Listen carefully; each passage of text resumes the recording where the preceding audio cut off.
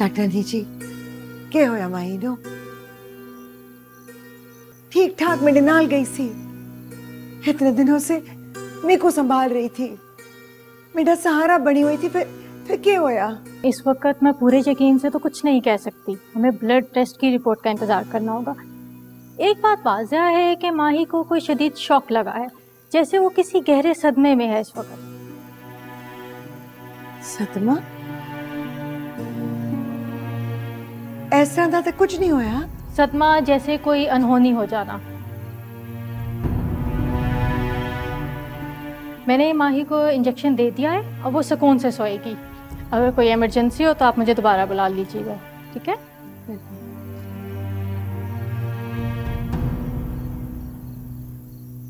baby San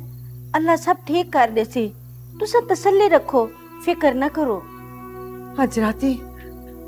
ਮੈਂ ਮਾਈ ਦੇ ਕਮਰੇ 'ਚ ਉਹਦੇ ਨਾਲ ਰਹਿਸਾਂ ਤੇ ਤੁਸੀਂ ਦੋਵੇਂ ਵੀ ਜਾਗਦੀ ਰਹਿਣਾ ਸੋਣਾ ਨਹੀਂ ਹੈ ਠੀਕ ਹੈ ਬੀਬੀ ਸੈਨ ਜਿਵੇਂ ਤੁਹਾਡਾ ਹੁਕਮ ਜੀ ਰੱਬ ਸੋਨਾ ਉਹਨਾਂ ਕੋ ਲੰਬੀ ਹਯਾਤੀ ਦੇਵੇ ਜੀ ਕੱਲ ਉਸਨੇ ਮਾਂ ਪਿਓ ਨੇ ਆ ਜਾਣਾ ਕਿ ਜਵਾਬ ਦੇ ਸਮੇਂ ਉਹਨਾਂ ਦੀ ਲਾਡਲੀ ਧੀ ਦਾ ਇਹ ਖਿਆਲ ਰੱਖਿਆ ਮੈਂ ਤੁਸੀਂ ਸਾਰੇ ਦੁਆ ਕਰੋ ਦੁਆ ਕਰੋ ਮੇਰੀ ਮਾਈ ਛੇਤੀ ਨਾਲ ਭਲੀ ਚੰਗੀ ਹੋ ਜਾਏ ਬੀਬੀ ਸੈਣ